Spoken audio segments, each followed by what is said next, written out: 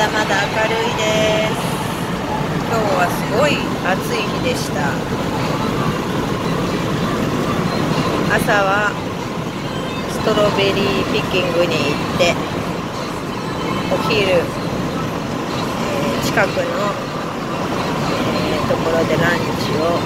しましてそれからひろしくんの仕事もあったのでジャパ船の方へ行きました。その後、ここで参考と日の出屋を見てジャパ船の中を歩いて、えー、スパイスジャーの方へ行ってご飯を食べて帰るところですいい天気になりそうですね。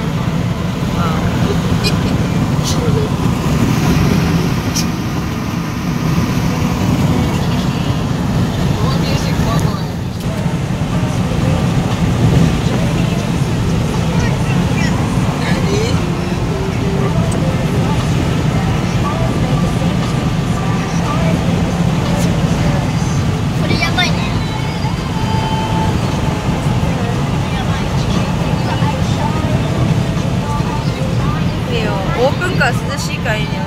今日気持ちいいよ。でもねあのマスクあのやばかったよね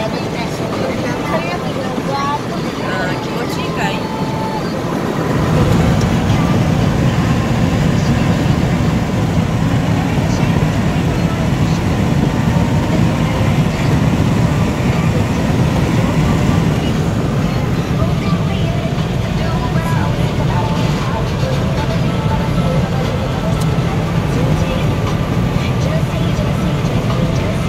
パパ飛ばしすぎです